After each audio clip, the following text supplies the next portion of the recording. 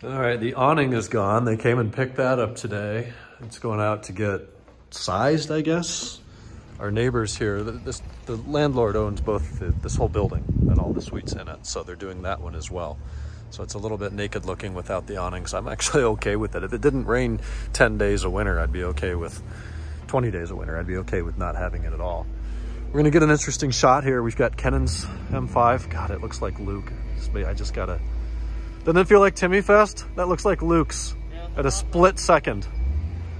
It's not, of course, but got Kenan's 2002. This is the Le Mans 2000. This is the Steel Blau 530. Uh, this is Drew's 2001 M5 on Bayerns and, and then mine. Pretty cool. Only we had the real camera. Yeah, well, these iPhones do pretty well. There we go.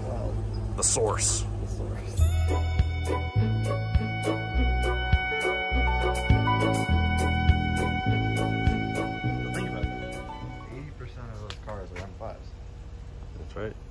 All but one have a V8. Hey, we got to be quiet here. We're wrapping up here at 11 o'clock on Monday. Today was window day. They came today and installed uh, what was supposed to be a whole house worth, house worth of windows. That did not happen. Hi.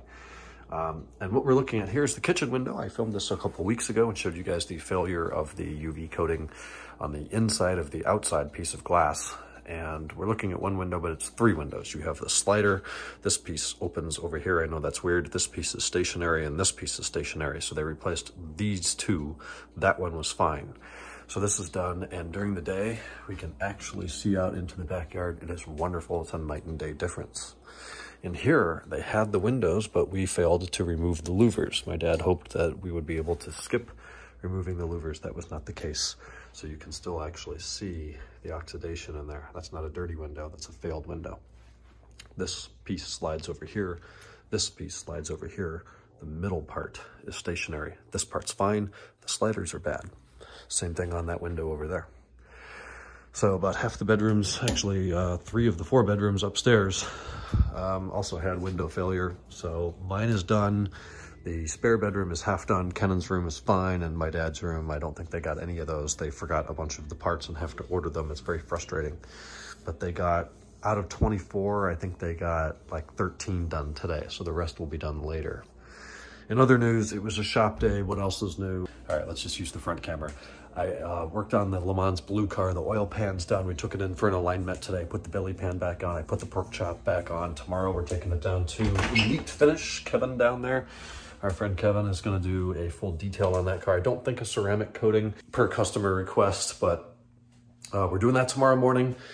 Then we've got to work on the E60. This manual conversion is taking way too long. We need to dedicate some manpower to that. We finally received a pigtail today for the reverse sensor, so that's gonna happen. Um, scheduled some more stuff today. We're still booking many, many, many weeks out, which is excellent. The painter today that was supposed to come up to the shop and work on painting our foyer up there um, flaked and said tomorrow, and now he says he can't come tomorrow either, so we're just writing him off. He's a flake. We're going to find another guy to come and paint for us. What else happened today? There's a bunch of shit happening today.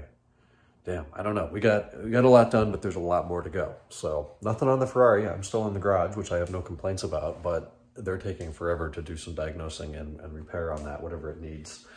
All of this stuff goes to Escondido tomorrow. I got my room cleaned up today now that the windows are done. I got the blind, my dad cleaned the blinds and the floor. Then I cleaned all the furniture. I'm gonna try to get some nightstands in there. The tables I'm using are way too low and just horribly inconvenient. And oh, it is kind of stressful. There's just a lot going on in, in all aspects of life and uh, it's a lot. It's a lot to do with. Anyways, I'm going to bed. Talk to you guys Tuesday. Good night.